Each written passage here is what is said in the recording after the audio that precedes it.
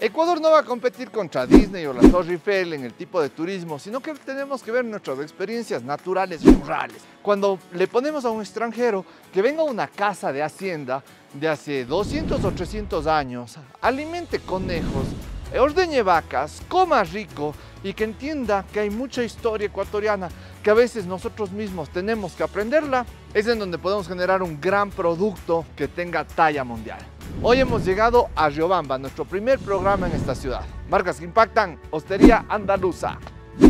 Bueno, y empezamos el viaje desde la linda Cuenca y como de Cuenca a Riobamba hay un par de horas, dijimos a los de Cherry, ¿qué tiene para prestarnos? Y vean la nave que nos dieron. Este es el nuevo Cherry Tigo 7 Pro, que es un carro híbrido, que una de las cosas que tenemos política en marcas que impactan, no promocionamos nada que sea solo zumo de dinosaurio. Desde la llave está bonita, si vienen a ver por acá, tiene una llave Pepa. Y adentro, el interior está del hijo de tanque. Vamos a ver ahora quién toca manejar. Isa, que es nuestra gerente de marketing, Nela, que es nuestra gerente de sostenibilidad, marca, propiedad intelectual, industrial. Puta man, en LinkedIn tiene ocho cargos. Eh, nos acompañan al viaje de hoy. Y como hay que ser buenos panas, no hay que quedarse dormidos, vamos a hacer un sorteo de quién maneja. Y Alex es el camarógrafo, que es del equipo de Estevitan. Listos, manos al centro, can, ken, pong. Vos manejas. ahora, si ven, estos son los paisajes de la sierra ecuatoriana. Vean ese wallpaper, puta, ni en Las Vegas consigue esa cosa.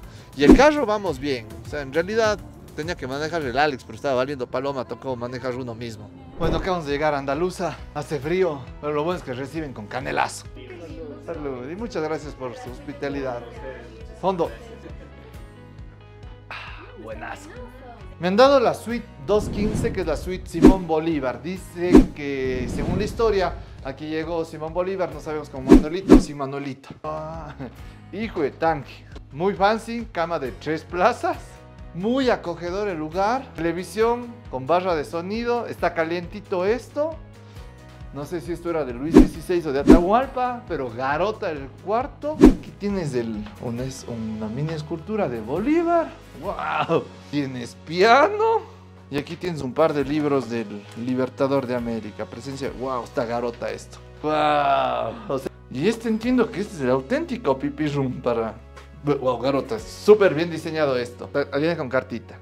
Estimado Nicolás, recibe un cordial saludo de parte de la Hostería La Andaluza, Hacienda Chuquipogio. Deseamos que su estadía en la Sultana de los Andes sea una experiencia inolvidable. Bienvenidos cordialmente a Hostería La Andaluza Star. Bueno, ya es medianoche, están garotas las habitaciones, pero hasta mañana nos vemos para seguir recorriendo Andaluza. Bueno, y estamos con don José Gallegos, que es el dueño de Hostería Andaluza. Ahora, ¿Cuándo aprendió usted a vender la parte del negocio? ¿Qué le pasó en la juventud que está metido empresarialmente ahora? Desde mi niñez eh, mis padres eh, tenían sus negocios, entonces es un aprendizaje forzoso, se podría decir. ¿De dónde es usted, don José? Yo soy de Alausí, yo nací en Alausí. ¿Cómo es que llega a ser dueño de Hostería La Andaluza? Porque entiendo esto no crearon ustedes.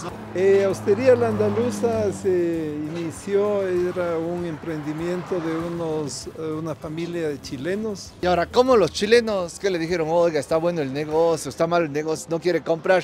¿Cómo es que llega usted a esto? Bueno, eh, la compra de esto se dio ya por eh, un amigo que era amigo común con los dueños. Eh, entonces él me dice, ve, están vendiendo la andaluza, ¿no te interesa? Es bueno, digo, sí, en realidad sí me interesaría, ¿no? Entonces ahí empezamos las negociaciones, poniéndole mucha fe, mucho entusiasmo y, eh, creyendo en nuestra gente, ¿no? Ustedes caminan por Andalucía y vean lo que encuentran. Es un pavo real que está yendo a atacar. Y aquí hay zanahorias para los conejitos. Si ven, vean a los conejitos ahí comiendo los dos, el blanquito y el negrito con la nelita. Estas son experiencias únicas que puedes vivir en Riobamba, dar de comer a conejitos. Y allá vienen tres más. Experiencias únicas que tienes que hacer con tu pareja y que te invito a mi ciudad, a Cuenca, pero así con pareja. La verdadera prueba del amor en el siglo XXI es que te lleven a Cuenca a comer rico. Y una de las sugerencias en hospedaje es que en pleno Parque Calderón vayas y te hospedes en Casa Firenza, de amanece, abres las puertas y puedes ver directamente a la catedral para decir gracias madre por haberme parido ecuatoriano. Y si es que luego te invito a un helado de mandarina abajo el Monte Bianco, Pepa. Ahora, ¿cuántos empleados tiene aquí en Andaluza? Eh, al momento contamos con 36 empleados de planta. ¿Y un feriado que esté bueno? Bueno, en un feriado ahí somos unas 70 personas, siquiera las que trabajamos. Wow, ¿Cuántas hectáreas tiene esto? Bueno, el hotel en sí ahora ya eh, se ha reducido a esas 4 hectáreas. Para usted, ¿cuál es el factor más importante de éxito en un negocio hotelero? Saber entender qué es lo que busca un cliente. Recomendación al emprendedor que tenga su hotelito, su restaurante. Eso es algo que usted, ¿cómo lo, ¿cómo lo descubre? ¿Ya tiene alguna intuición? ¿Les pregunta directamente? ¿Hace encuestas? ¿Paga estudios de mercado? ¿Cómo lo ha hecho? Bueno, nosotros aquí en realidad lo hemos hecho en base al rostro del cliente. Usted ve, o sea, simplemente si está conforme, si le gustó, si no le gustó, porque es, es evidente, ¿no? La primera vez en un restaurante que me van a poner ropa para comer especialmente esto. ¿En serio? Es... ¡Wow! Sí que es lo mejor. Vea esa maravilla. ¿Qué le va a meter? Esto se llama cuerpo. Ah, Licor, licor de caña, ¿ya? ¿Sumir? Chumir.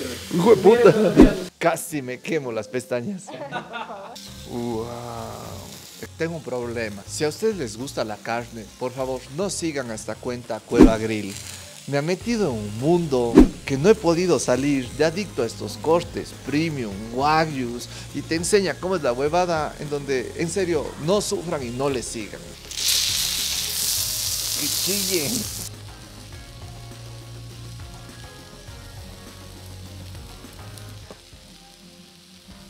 Si uno ve aquí el bar, tiene todo un ambientazo para venir a pegarse los tragos.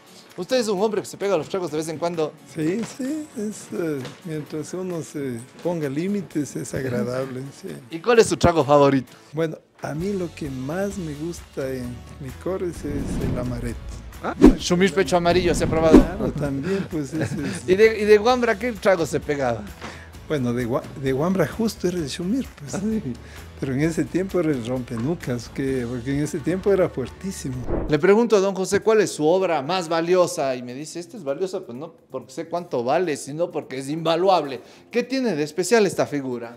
Bueno, esta figura es la Niña María y esta es una obra del tiempo colonial. Se dice que en ese tiempo pues se las hacía así articuladas y era el objetivo pues dice que en el tiempo de los españoles a estas eh, figuras las sacaban en las procesiones, pero las vestían, ¿no? Ya con ropas igual como que fuesen. Y se colocaban hilos. Entonces les iban manipulando como que... como- del robot. Sí, o sea, es como que eh, tomaban vida. Es una técnica justamente de la escuela quiteña, que lo hacían con el, va- la vejiga del cordero. Y para amantes del arte, si ven desde allá hasta el otro lado, en donde tienen lo que quieran para estar ahí hechos locos viendo. Otra cuestión que ustedes pueden ver, que tienen en Andaluza, una colección de teléfonos antiguos y que pueden verlos de las paredes, que están locazos. Ahora, esto está lindo para decoración, pero si eres un empresario del siglo XXI, tienes dos opciones. O sigues con estas cuestiones, que es como utilizar el dinero en efectivo y que solo en efectivo, o decir, quiere que le acepte pagos con tarjeta de crédito, pero por supuesto, varón, te bajas Payphone, mandas un link por WhatsApp y cobras inmediatamente. Y esa plata que cobras, la cobras sin comisiones. Si quieres mandarla al banco te va a costar 6%, pero lo más inteligente es que utilices en varios comercios que aceptan Payphone y ahí utilizas tu saldo y lo pagas de one, con lo cual aceptas tarjeta de crédito 0% de comisiones.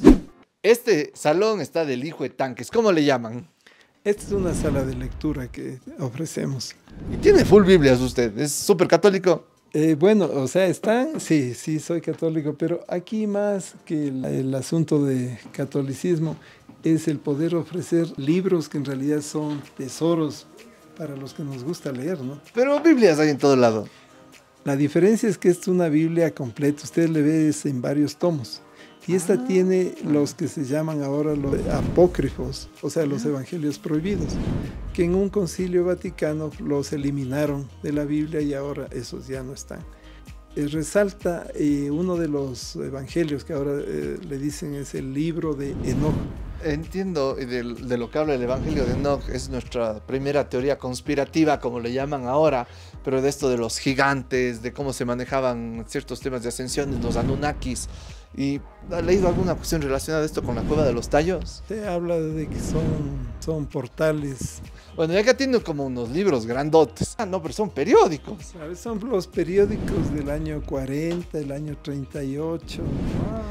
Y es agradable ver el tipo de publicidad que hacían antes, ¿no? Si lees todos estos diarios, históricamente hemos tenido importantes empresas ecuatorianas, pero ha llegado el momento en donde no solo hagamos empresas que hagan plata, sino que hagan empresas que traten bien a sus empleados, cuiden a la comunidad y cuiden el medio ambiente. Si quieres empezar un negocio en serio de triple impacto, anda a ulpi.com y constituye tu compañía o registra tu marca en cuatro patadas y paga con tarjeta transferencia Bitcoin. Me dice que hay obras de tres escuelas. ¿Cuáles tiene? Sí, aquí tenemos obras de las tres escuelas coloniales, de la escuela quiteña, de la escuela cusqueña y de la escuela virreinal. Por ejemplo, ¿este de qué escuela es? Es de la escuela quiteña, es la Virgen de la Garda.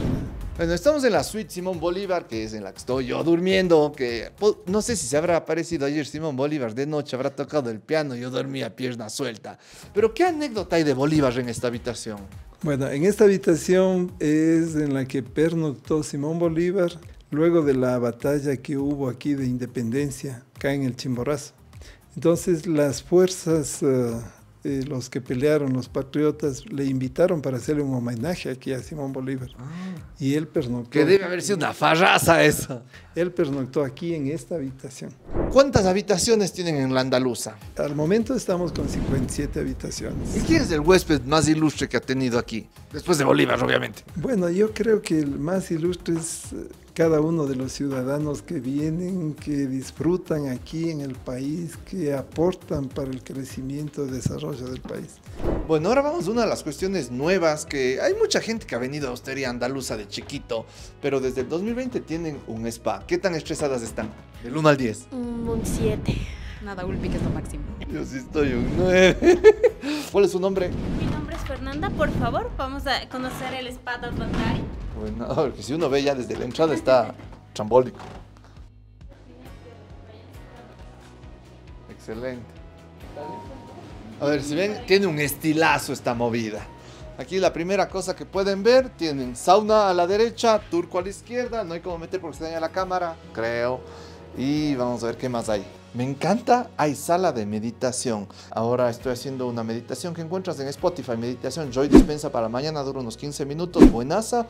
Y la que he hecho más consistentemente es la meditación de seis fases de Vishen Lakiani, que estas dos son meditaciones guiadas, igual está en Spotify. Entonces vamos a ver mañana qué tal está esta movida, pero garota este tema.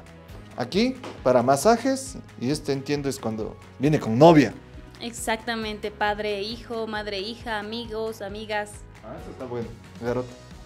A ver, aquí tienen como una, ¿cómo se llama esta movida? Camilla individual, pero que hay chocoterapia. Y dice que al final uno puede lamerse o bañarse con el chocolate. Interesante. Aquí ven otro corredor en donde no son baúles, ¿cómo se llaman estos? Estos son los vargueños, Ah. que en su tiempo, en la antigüedad, lo utilizaban para el, como cajas fuertes para guardar. Estos tienen sus eh, cajones secretos en los que no, no podían, entonces eh, cosas de valor algo lo guardaban ahí. Los, los... En esta época puede funcionar esto muy bien para guardar sus... Aquí hay un cajón. Ah, no sea loco. Por ejemplo, esto está muy bueno para comprarse ahora los que tienen bitcoins y están guardando en su ledger. Tienen ahí guardados. Yo voy a- voy a mandar a hacer uno. Miren estos detalles que, encuentras en cada rincón. Ya hay ciertas cosas de los negocios que estamos ofreciendo para la comunidad de solo miembros al lado del botón suscribirse y el botón unirse. Todas las semanas material exclusivo poderoso para aquellas personas que quieren sacar el Ecuador adelante y que necesitan un contenido mucho más potente directo para ustedes. Su cuadro favorito de tantos cuadros que tiene aquí. Bueno, el que más me impresiona y me llena es justamente es este cuadro que es de nuestro Señor Jesucristo en el- la última cena, en el momento del ofrecimiento, la consagración. ¿Qué tiene de especial este cuadro desde la perspectiva artística? Prácticamente la mirada es como que le fija a uno. Si ven, a- acabo de leer la biografía de Leonardo da Vinci, de Walter Isaacson, y ahí señala cómo eh, da Vinci hizo todas estas técnicas con la Mona Lisa, que tiene ese efecto para que te vaya viendo. O sea, claro, si quieren saber de arte, es un librazo. Aquí don José me muestra esta obra de arte en donde si ven de los gráficos es la historia de la colonia que hubo en América. Ahora, hay una cosa que yo había escuchado en los cursos de finanzas que dice, uno nunca debe tener toda la plata en efectivo, no todos los huevos en la misma canasta, tengan inmuebles, tengan acciones, tengan sus negocios, una plata en efectivo, pero hay un cierto tipo de inversionista que también tienen arte.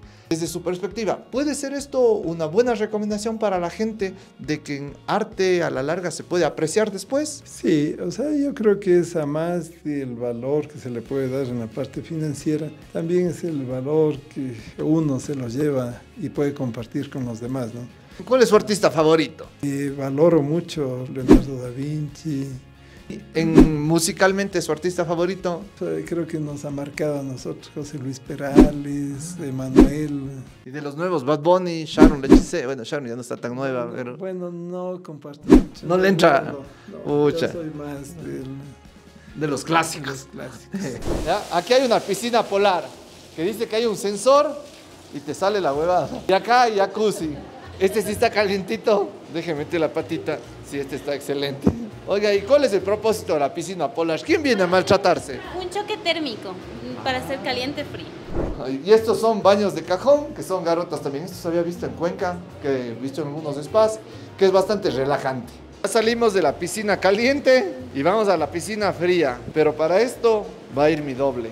Dale, mijín.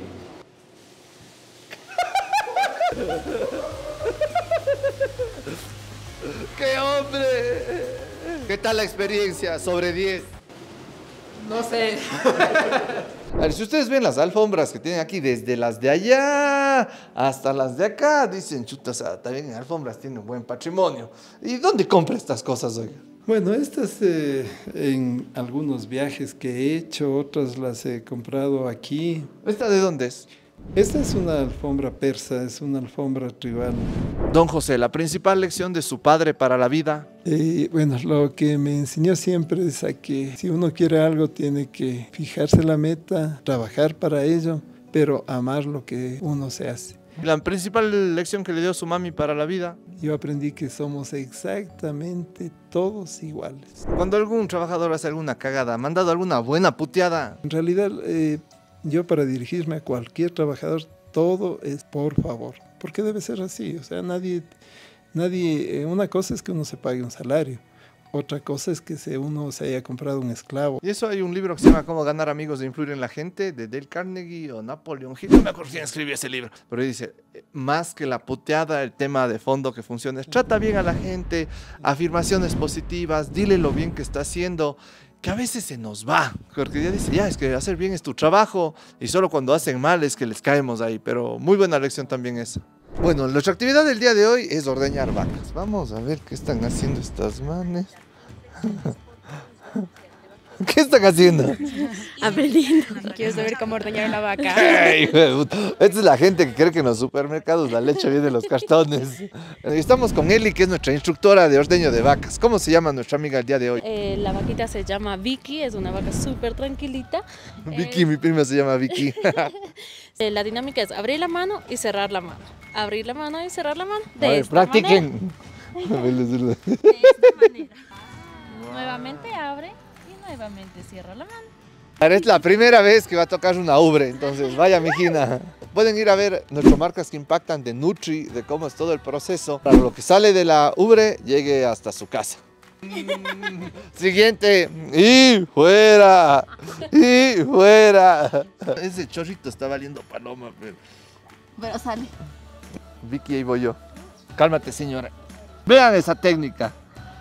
Va a ver nuestros marcas que impactan en Hacienda La Danesa. Sinceramente, a mí ya me enseñaron la técnica y hace que salga de one. Ahora, hacer un bigote. Vaya. ¿Qué es de alguna anécdota que nos pueda contar don José de lo más importante ya en cultura ecuatoriana que hayan pasado dentro de estos muros? Dentro de la, en la parte cultural, pues eh, este hotel está declarado Patrimonio Cultural del Ecuador. Aquí es donde se reunieron los primeros patriotas para escribir la primera constitución, para redactar sé. la primera En constitución. 1830. Sí. Dice don José que hay un pequeño auditorio acá donde se hacían las cosas. Mira, José, el pequeño auditorio que ha habido aquí. Es la mamá de los auditorios. ¿Cuántas sillas tiene aquí? Bueno, esta es capacidad para así sentados, todo 260 personas. Bueno, ¿quieren ver algo perturbador? Mishi, mishi, mishi. Vele la cara a este man, vele, hijo de puta. Este sí que está como perturbado, es como la alta demencia en versión. Ay, hijo puta, te va a matar. Nuestra siguiente actividad es caballitos. Christopher, ¿cómo se llaman estos mijines? Él se llama Poeta, Eva Albanera, Muñeca y la Lucy. ¿Quién pone los nombres? Oh, ven, ChatGPT. Nosotros. Ah, Bien. A ver, si ven, este es un lujazo. Andar a camello o a caballo con el chimborazo ahí de fondo. Gente, el chimborazo arregla todo. ¿Qué nomás ofrecen de servicios? Acá ofrecemos el tema de cabalgatas, el ordeño de vaquitas y también proveemos de leche para el restaurante. Una de las cosas importantes en turismo es que no que necesitamos hoteles, restaurantes y actividades. Si ustedes ven, Riobamba, por ejemplo, está el trabajo empezando a hacerse con lindos hoteles, empezando con un tema gastronómico y el tema de las actividades es en donde en los tres niveles hay negocios y ahí es en donde tenemos que apuntar al turismo premium, al gringo, al europeo que viene y deja propinas de 50 dólares y que para ello debemos especializarnos mucho en el servicio, en la calidad del producto, adicionalmente en el ambiente. Luego de haber pasado varios meses de viajes, yo ya necesitaba esta experiencia de la realidad, de ordeñar una vaca, de estar en una hostería en donde el cuarto tiene llave y que pude reconectarme con el ¿para qué estoy haciendo esto? Y cuando me pusieron en el cuarto en donde había dormido Simón Bolívar luego de la batalla del 24 de mayo de 1822, es en donde digo, en realidad tenemos un país de lijo de frutas. Lo que nos falta es darnos cuenta allí, explotarlo correctamente, haciendo plata, tratando bien a los empleados y cuidando el medio ambiente. Eso hará que si nacimos en un Ecuador pobre y corrupto, no es nuestra culpa. Pero si morimos y nuestro Ecuador sigue siendo pobre y corrupto, eso sí va a ser nuestra culpa. Y aquí te dejo otro programa especialmente elegido para ti sobre una gran marca que impacta.